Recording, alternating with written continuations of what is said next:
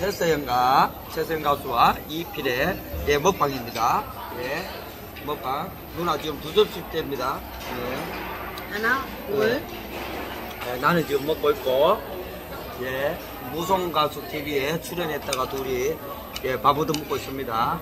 예, 예, 뭐 드리지?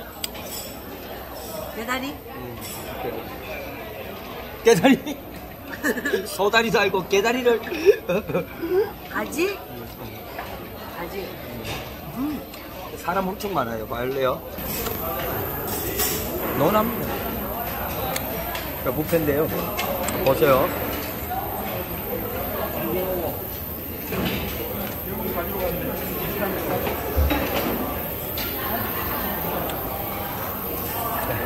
네. 이렇게.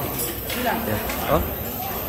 호박죽 먹을래? 어. 호박죽 자, 스파게티 오늘의 짤바 동영상 제가 트림이 나와갖고 누나 휴대폰을 잡아줘야 되는데 너무 힘듭니다 여기서 끊겠습니다 누나 방송이다 빨리 끊어라 안녕. 사랑합니다. 네.